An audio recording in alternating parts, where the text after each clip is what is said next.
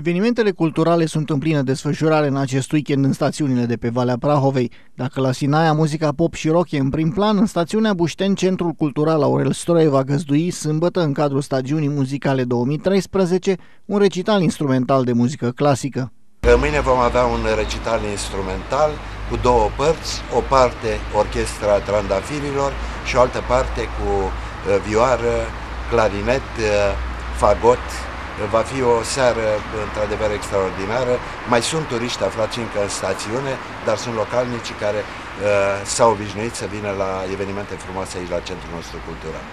Printre instrumentiștii care vor urca pe scenă, alături de orchestra Trandafirilor din Ploiești, se numără pianista Maria Săvuță, violonistele Adela Ancuța și Irina Florea, Simona Avram la clarinet, iar Alexandra Stanciu și Andreea Viviana Chirpac vor încânta publicul prin lucrările executate la fagot.